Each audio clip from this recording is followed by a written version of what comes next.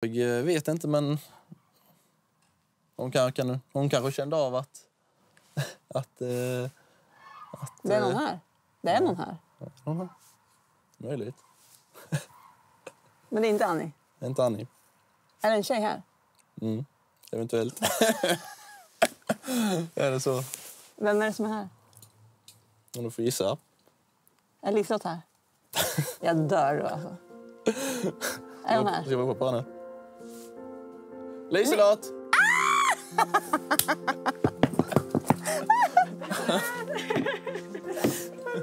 Nej men gud! Här är Liselott!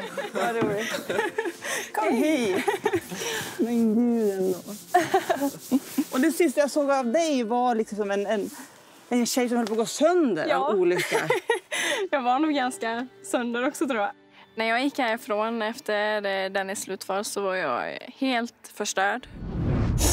Jag tyckte, i och med att det kändes så himla bra, så eh, visste jag inte liksom, är det bara från min sida det känns så bra eller... Jag var ju verkligen jätteledsen, var jag.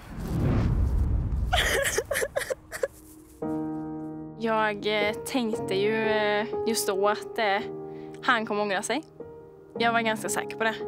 För det kändes ändå som att eh, jag och han passar så bra ihop. Liksom. Och när han sa det att ja, vi skulle säkert få en jättebra framtid så tänkte jag, du säger inte att vi får en bra framtid om du väljer bort mig. Idiot tänkte jag bara. Jag var så arg och så jävla upprörd.